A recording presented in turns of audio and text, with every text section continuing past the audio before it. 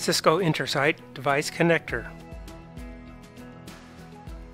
Configuring the device connector settings on Cisco IMC enables you to manage the C-Series servers using Cisco Intersight, which is a cloud-based application. You can choose to manage the server using only Intersight or using both Intersight and Cisco IMC. This video explains the various options available to configure device connector to enable Cisco Intersight management. Device connector settings for Intersight management. In the navigation pane, click the Admin tab and then Device Connector.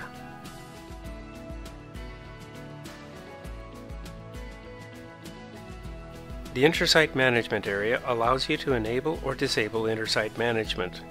Clicking the Enabled Radio button on enables the Intersight Management and allows you to claim this system and leverage the capabilities of Cisco Intersight, while clicking it off disables Intersight Management. No communication will be allowed to Cisco Intersight. The connection area displays the status of the connection to Intersight. In the status field, Administratively disabled indicates that the Intersight management has been disabled. DNS misconfigured indicates that the DNS details have not been configured in BMC. UCS Connect network error indicates invalid network configurations. Certification validation error indicates an invalid certificate. Claimed indicates that the device is claimed in Intersight. Not claimed indicates that the device is registered but not claimed in Intersight. Claim code is a security code required to claim the device from Intersight.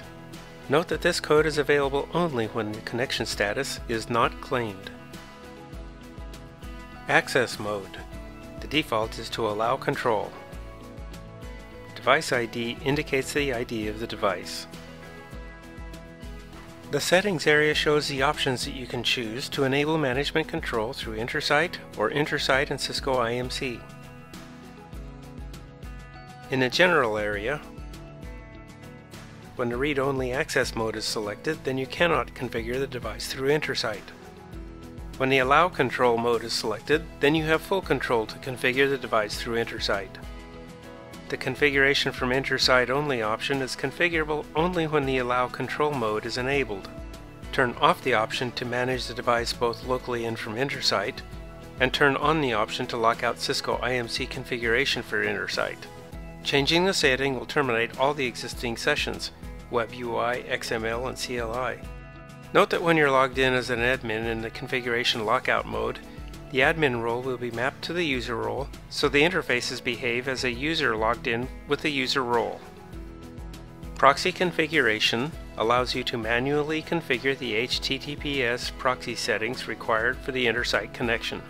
The HTTPS proxy radio button disables the HTTPS proxy settings when turned off, and enables the HTTPS proxy settings when turned on. The IP address or the host name of the proxy server are entered in the proxy hostname IP field, and the port number of the proxy server is entered in the proxy port field. Enabling the authentication toggle button allows you to provide the credentials for the proxy server. Note that the device connector does not mandate the format of the login credentials, they're passed as is to the configured HTTP proxy server. Whether or not the username must be qualified with a domain name will depend on the configuration of the HTTP proxy server. The credentials for the proxy server are entered in the username and password field.